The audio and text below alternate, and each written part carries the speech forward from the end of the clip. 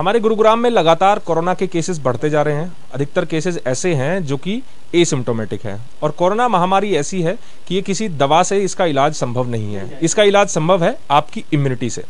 इसीलिए आप लोगों के लिए एक ऐसी खबर करने आए हैं ताकि आपके लिए ये यूजफुल हो।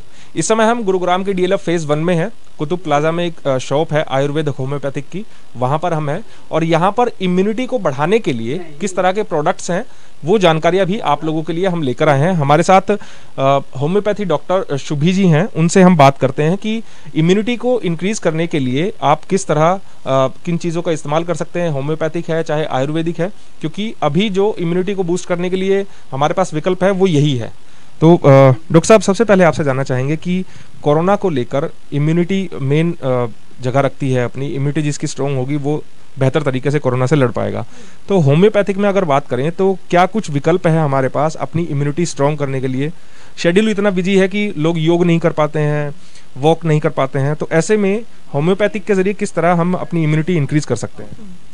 देखिए, सबसे पहले तो मैं सबको यही कहना चाहूँगी, जिस तरह से आयुष मिनिस्ट्री ने भी हमारे लिए बहुत सारे मेजर्स किए थे कि हमें डेली गर्म पानी पीना चाहिए। और उसके अलावा अगर हम होम्योपैथी की बात करें तो हमारी बहुत सारी ऐसी मेडिसिन हैं जो हर्ब से भी बनी हुई हैं। जैसे कुछ बायो कॉम्बिनेशंस भी आती हैं, जिसमें बहुत, जैसे बच्चों से लेके ओल्ड एज तक इम्यूनिटी के लिए हेल्पफुल होती है। बट इसके लिए बहुत ही ज़रूरी है कि आप अपने फिजिशियन से बात कीजिए, जो पहले से होम्योपैथिक मेडिसिन खा रहे हैं। आप देखेंगे कि उनकी इम्यूनिटी वैसे भी थोड़ा स्ट्रॉन्ग ही होगी। Because if you are taking अब बहुत पहले से होम्योपैथिक मेडिसिन जो लोग ले रहे हैं, क्योंकि ऐसा नहीं है कि कुछ ही मेडिसिन इम्यूनिटी में हेल्प करती हैं, लेकिन बहुत सारी ऐसी मेडिसिन आती हैं। जैसे अगर हम बायो कॉम्बिनेशन में बात करें तो एक कोल्ड कफ कटार के नाम से आती है, एक टॉनिक के नाम से आती है। जो कि हम बच्चों में भी बहुत रेगुलरली देते हैं, जैसे खांसी ज़ुकाम या बुखार में। उसके अलावा जैसे कैल्शियम के लिए या आयरन के लिए भी बहुत सारी दवाइयाँ आती हैं। इम्यूनिटी की अगर हम बात करें तो बहुत सारी हमारी ऐसे कुछ मदर टिंचर्स भी आते हैं, जो नेचुरल हर्ब से बने हैं। जैसे हम कहते हैं कि तुलसी खाइए तो तुलसी से भी हमारी एक मदर टिंचर और मेडिसिन आती हैं। उसके अलावा अश्वगंधा है उसके अलावा आप देखिए गिलोए से भी मेडिसिन आती है। सो so, इट ये सब एक दूसरे से मतलब हर्ब्स के साथ साथ होम्योपैथिक मेडिसिन भी रिलेटेड हैं। लेकिन अगर patient over the counter medicine कोई बाय करता है तो बहुत ज़रूरी है कि वो पहले से कोई मेडिसिन तो नहीं खा रहा है डायबिटिक पेशेंट तो नहीं है हाइपरटेंशन पेशेंट तो नहीं है। तो उसके लिए ज़रूरी है कि वो अपने फिजिशियन से ज़रूर डिस्कस करे क्योंकि उसको क्या डोज देनी है और कितनी डोज देनी है और कितने दिन खानी है वो बहुत ज़रूरी है इम्यूनिटी के लिए। बिकॉज़ अगर हम आ, सोचें कि हमने सिर्फ़ एक एक दो मेडिसिन खा ली तो ज़रूरी है कि हम पेशेंट को कंप्लीट समझें कि उसके क्या सिम्टम्स हैं। खांसी के लिए देखिए खांसी के लिए बहुत सारी दवाइयाँ हैं ज़ुकाम के लिए भी बहुत सारी दवाइयाँ हैं सब और हर एक इंसान अलग है और हर किसी के सिम्टम्स भी अलग होंगे। तो ज़रूरी है ये बहुत समझना कि आप अपना जो भी फिजिशियन है उससे डिस्कस कीजिए। और आजकल जिस, जितना हमने दो महीनों में देखा है कि कोविड के टाइम में होम्योपैथी बहुत अच्छे से उभर के आई है और बहुत सारी होम्योपैथिक मेडिसिन लोगों ने खाई भी हैं इम्यूनिटी के लिए। और बहुत अच्छे रिजल्ट्स भी पाए गए हैं काफ़ी डिफरेंट स्टेट्स में भी। और ऐसा नहीं है कि सिर्फ़ इंडिया में throughout the world homeopathy ने बहुत अच्छा नाम कमाया है। तो मुझे यही आ, मैं सबसे यही कहना चाहूँगी कि गर्म पानी ज़रूर ज़रूर ज़रूरत है तो घर से बाहर निकलिए। और उसके अलावा जितना भी आप ज़रूर इस टाइम पे आप होम्योपैथी जो है you can switch on to homeopathy कोशिश कीजिए कि अपने फिजिशियन से मिलिए बात करिए और आप और सबसे ज़्यादा फ़ायदा होम्योपैथी का यही है कि चाहे छोटा बच्चा हो या ओल्ड एज के इंसान हो सबके लिए ये सेफ़ ही है। ऐसा कुछ हमने पाया नहीं गया है कि आ, इसके कोई साइड इफ़ेक्ट्स पाए नहीं गए हैं। बट हाँ बहुत आराम से और बहुत जल्दी क्योर में ये हेल्प करती है। डॉक्टर साहब जब ये कोरोना काल आया तो उसके बाद से इम्यूनिटी की बात होने लगी। आज से पहले जो बीमारियाँ थी डेंगू की बात कर लें नॉर्मल फ्लू की बात कर लें और भी बीमारियाँ उनकी बात कर लें इम्यून सिस्टम उसमें भी अपनी एक अलग इंपॉर्टेंस रखता भी है। लेकिन अब जब कोरोना आया है तो लगातार इम्यून की बात की जा रही है कि इम्यून सिस्टम स्ट्रॉन्ग करना है स्ट्रॉन्ग करना है।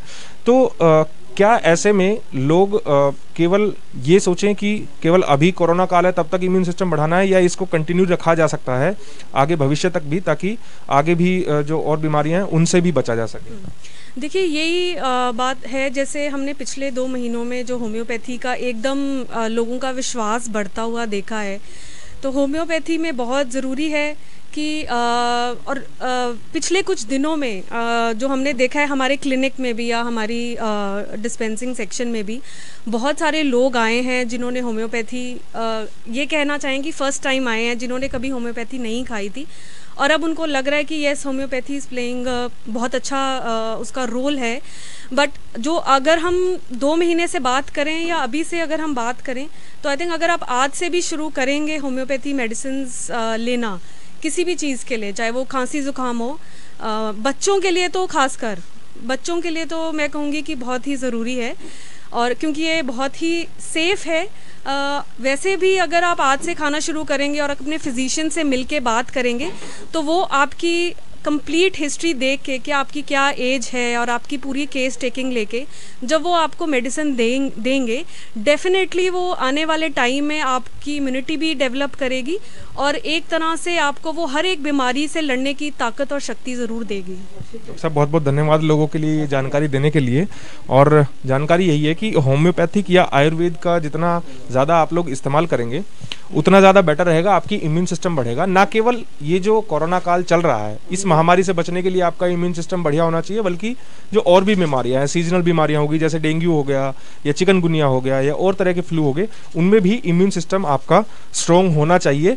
लेकिन अब कोरोना काल चला है तो इम्यून सिस्टम चूँकि यही एक कारगर जो दवाई है, हमारी रामबाण इलाज है इम्यून सिस्टम तो इसीलिए इसकी बार बार बात की जा रही है। हमारे साथ दीवान जी हैं। दीवान जी आयुर्वेद किस तरह से हेल्प करता है जो इम्यून सिस्टम है, उसको बढ़ाने के लिए? सर, आयुर्वेद में काफ़ी ऐसी दवाएँ, हर्ब्स और जड़ी बूटियाँ हैं, जो कि इम्यून सिस्टम को इंक्रीज़ करती हैं।